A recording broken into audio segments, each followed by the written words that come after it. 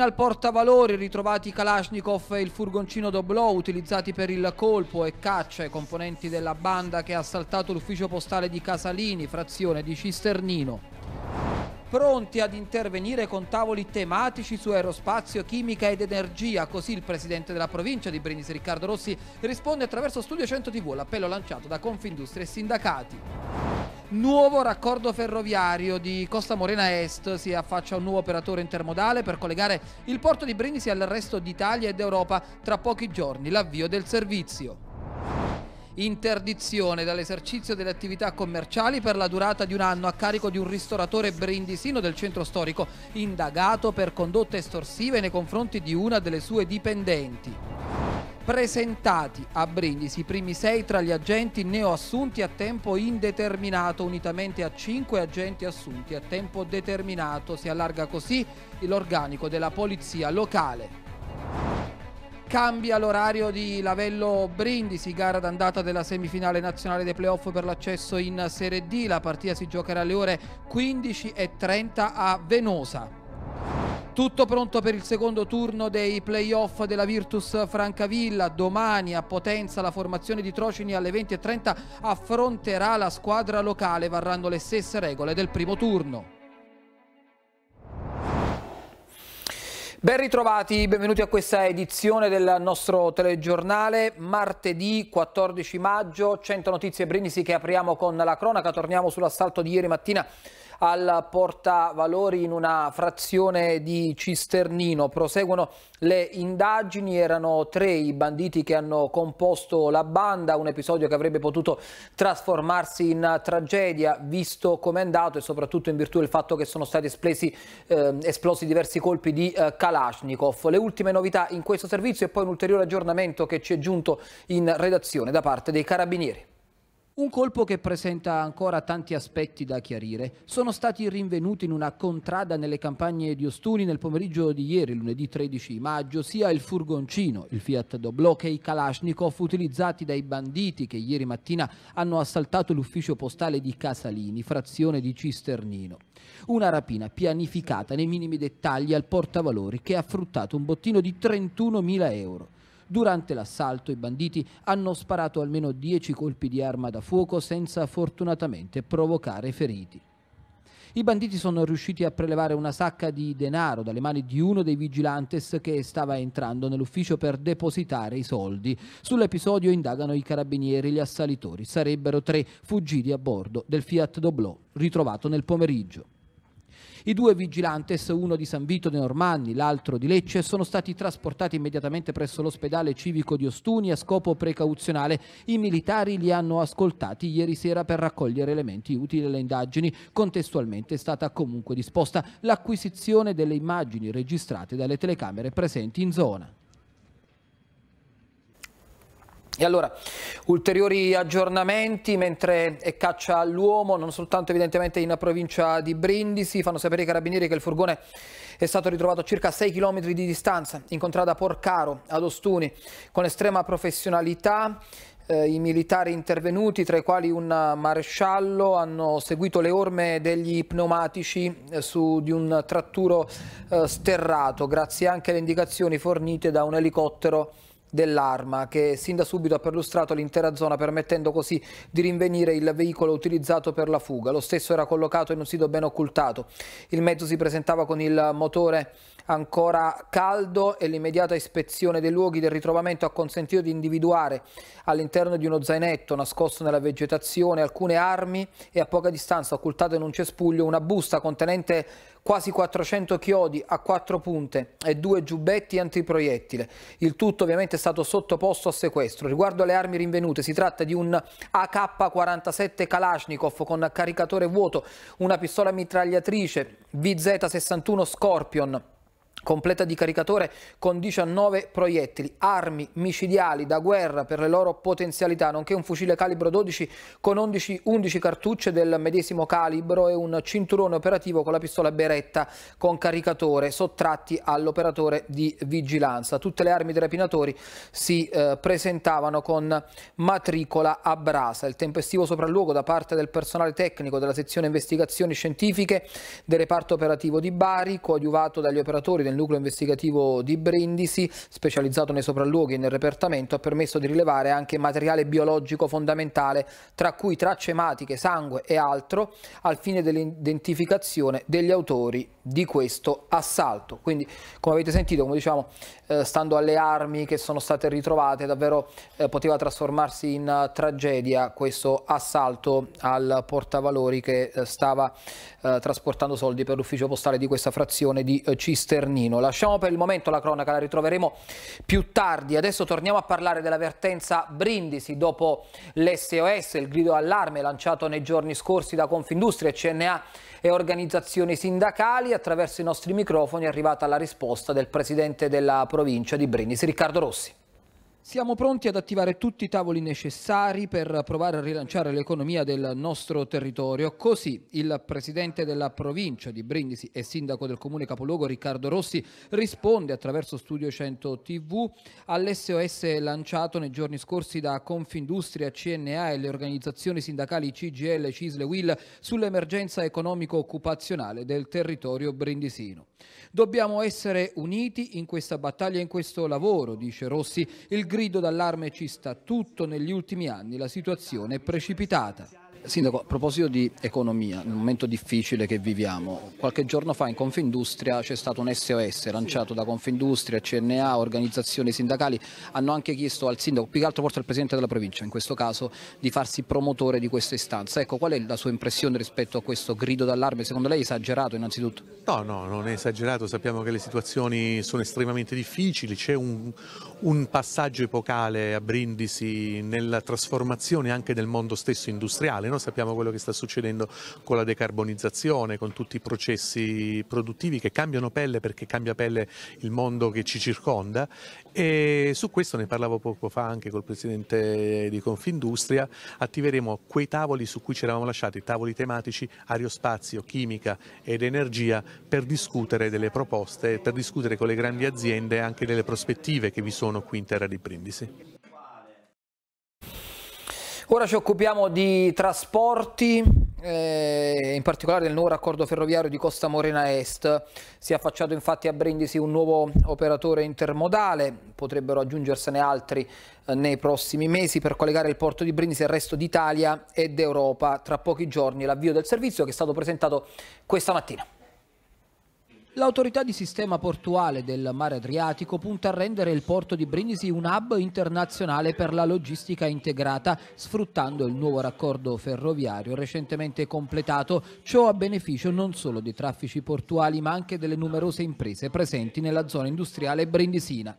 Conferenza stampa a Brindisi per illustrare l'iniziativa imprenditoriale del gruppo GTS per collegare il porto di Brindisi attraverso la nuova piattaforma intermodale logistica di Costa Morena Est al resto d'Italia ed Europa iniziamo a vedere i frutti di mesi di lavoro, forse dei primi due anni di lavoro.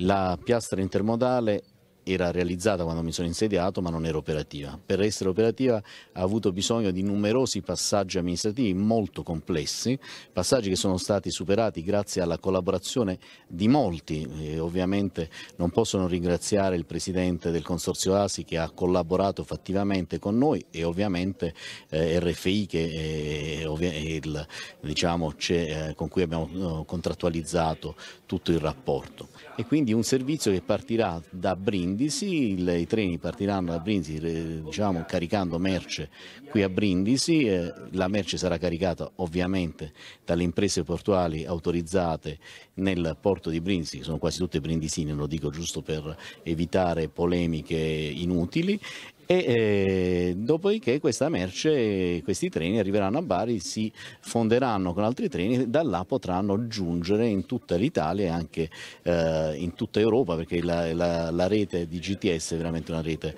imponente. Attraverso la nuova linea di trasporto ferroviaria che si collegherà direttamente alla rete ferroviaria nazionale di RFI, le merci sbarcate nel porto di Brindisi e quelle prodotte dalle aziende che operano nella zona industriale avranno così l'opportunità di raggiungere il resto d'Italia ed Europa con una modalità trasportistica sicura, rapida ed economica. È chiaro che noi eh, crediamo che ci possa essere un grande sviluppo in questo territorio, sia per quanto riguarda i flussi di merci che arrivano via mare, ma anche per le industrie locali che possono approfittare di questo servizio. GTS oggi effettua 4.200 treni l'anno che partono da Bari, Piacenza, Milano e Bologna e per tutta l'Europa con le nostre antenne eh, che collegano Bari con il nord Italia eh, 20, con 24 treni a settimana, in andata e 24 in ritorno. Creeremo da Brindisi un collegamento, non dico giornaliero, sarebbe sperare troppo, però almeno tre volte alla settimana e sperando che il territorio reagisca bene su questo e appoggi questa iniziativa che ripeto è a tutto vantaggio del territorio, economicamente innanzitutto, ma poi ambientalmente è una cosa abbastanza sostenibile, basta pensare che un treno completo è l'equivalente di 30 camion per strada, fatti i moltiplicatori e vedete. Due cittadini si sono presentati presso la sede del gruppo dei carabinieri forestali di Brindisi consegnando una cassetta di plastica rinvenuta nel quartiere San Paolo eh, all'interno della cassetta 22 giovanissimi esemplari di testudo Ermanni, eh, la tartaruga terrestre che è assoggettata al massimo regime di tutela dalla Convenzione internazionale di Washington del 1973. Le testuggini, stiamo vedendo le foto, in buone condizioni di salute, sono state sottoposte a sequestro penale e affidate in custodia allo Zoo Safari di Fasano, attrezzato per il loro accoglimento e mantenimento. I carabinieri forestali hanno, inoltra, hanno inoltrato alla Procura della Repubblica di Brindisi un'informativa di reato contro ignoti, in quanto la detenzione di esemplari di testudo ermanni è vietata, nonché per abbandono di animali. Essendo le 22 tartarughine il probabile prodotto di una schiusa di uova da adulti illegalmente detenuti, sono in corso accertamenti in zona al fine di individuare i responsabili dell'abbandono e della detenzione abusiva di fauna protetta. Interdizione eh, dall'esercizio delle attività commerciali per la durata di un anno a carico di un imprenditore, un ristoratore eh, brindisino che avrebbe preteso troppe ore di lavoro dai suoi dipendenti, in particolare la denuncia per estorsione scattata dopo la, uh, una lite con una sua dipendente in particolare. Vediamo. I militari del nucleo di polizia economico-finanziaria di Brindisi hanno eseguito un provvedimento del Tribunale che ha disposto l'interdizione dall'esercizio delle attività commerciali per la durata di un anno a carico di un imprenditore brindisino indagato per condotte estorsive nei confronti di una delle sue dipendenti. Nel dettaglio i riscontri effettuati dalle Fiamme Gialle hanno fatto emergere un sistema illecito di gestione del personale da parte del titolare dell'impresa consistente nel costringere sia la dipendente, che poi lo ha denunciato, che gli altri collaboratori dietro la minaccia del licenziamento a prestare l'attività lavorativa per un numero di ore superiori a quelle contrattualizzate, nonché ad accettare stipendi inferiori a quelli previsti dal contratto collettivo nazionale di settore, bar e ristorazione. Il giudice per le indagini preliminari, così su richiesta del pubblico ministero, ha emesso un provvedimento di interdizione dall'esercizio dell'attività commerciale per la durata di 12 mesi nei confronti dell'imprenditore indagato. Contestati anche numerosi illeciti amministrativi in materia di contrasto al lavoro sommerso e regolare. Gli ulteriori accertamenti hanno permesso di accertare l'impiego di 5 lavoratori in nero per un periodo di tempo di circa due mesi, l'irregolare registrazione di altri 13 lavoratori, nonché un'evasione evasione contributiva per oltre 20.000 euro. Ci fermiamo adesso, c'è un po' di pubblicità, la linea va alla regia curata oggi dalla sede di Brindisi da Dario Spagnolo e Alessandro Colavito, tra poco con la seconda parte del nostro telegiornale.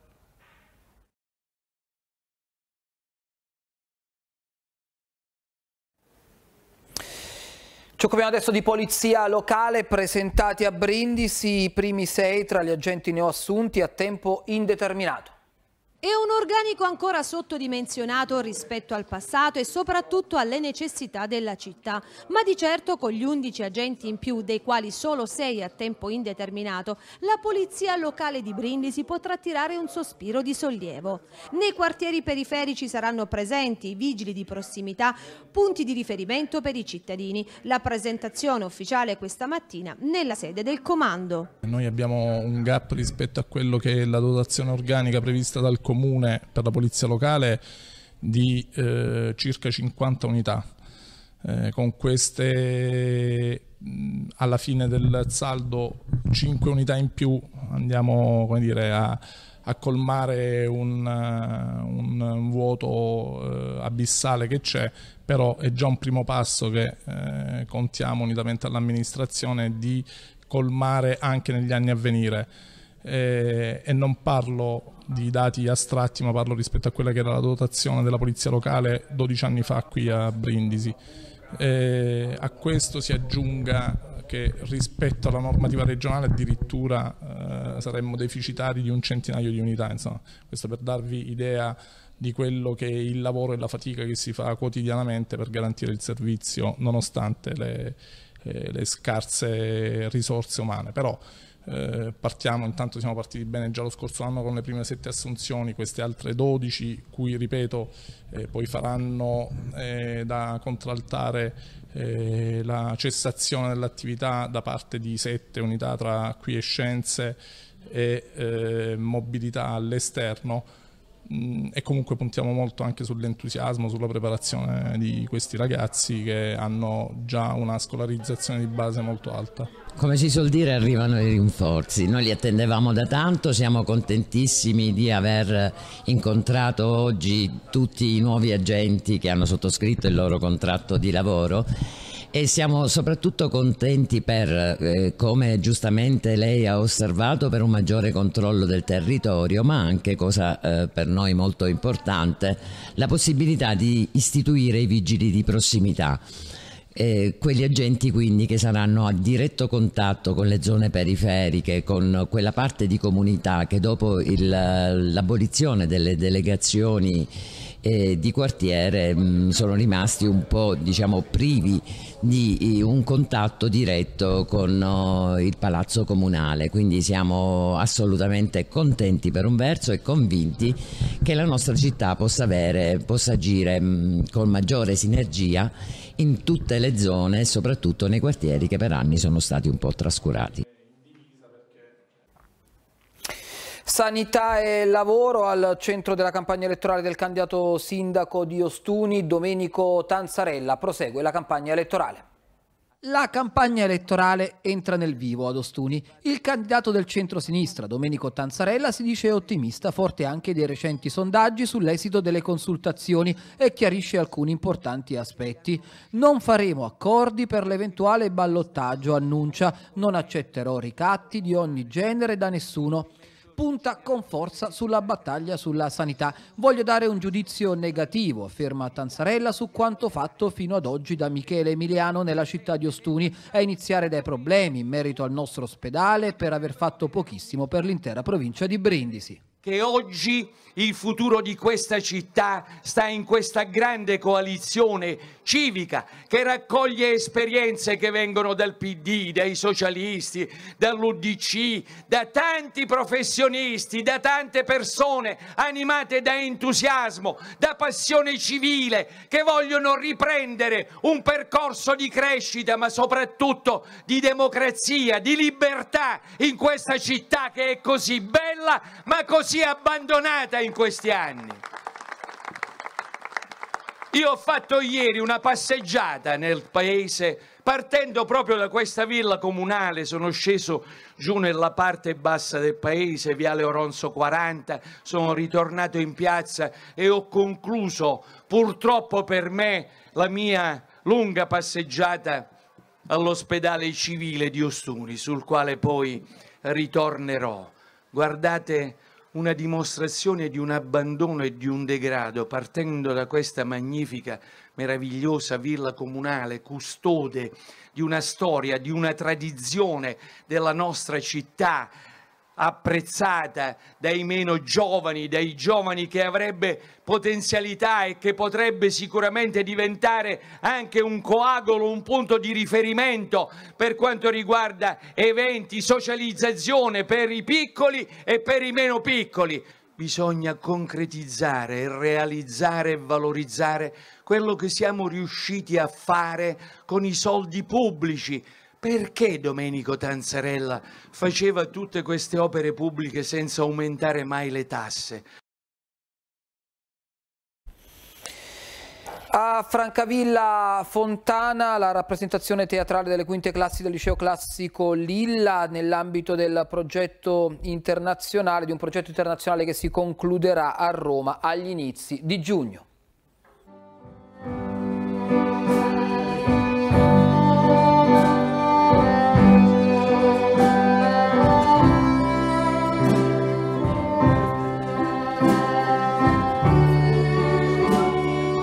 Parliamo di questo lavoro con Gabriela Solazzo con gli occhi di donna. E con occhi di donna è un lavoro che è stato ispirato da tanti eventi che stanno succedendo ultimamente e che ci portano a riflettere fortemente sul fatto che dobbiamo trasformarci e dobbiamo pensare diversamente la società e la vita. I ragazzi devono riflettere su qualcosa di fondamentale, non bisogna avere pregiudizi. Quindi la società eh, deve essere pensata con occhi che si trasformano, con occhi diversi. Allora Federica, un tema forte, ermafrodito.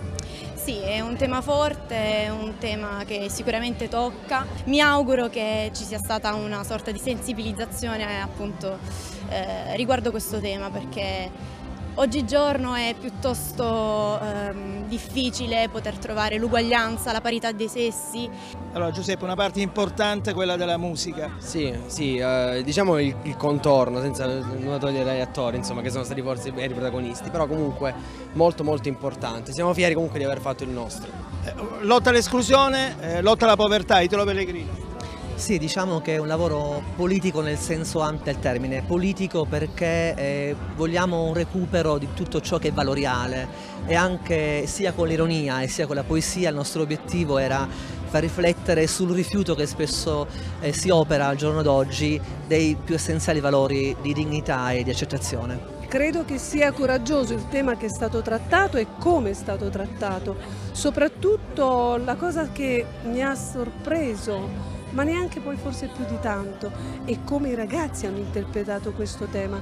Questo ci fa pensare che sono, sono molto molto più avanti di quello che pensiamo e che probabilmente ci fanno anche sperare in una, in questa nuova generazione, in un futuro davvero dove pregiudizi eh, si saranno veramente superati completamente. Allora, Preside, tanta soddisfazione, soprattutto in attesa di Roma.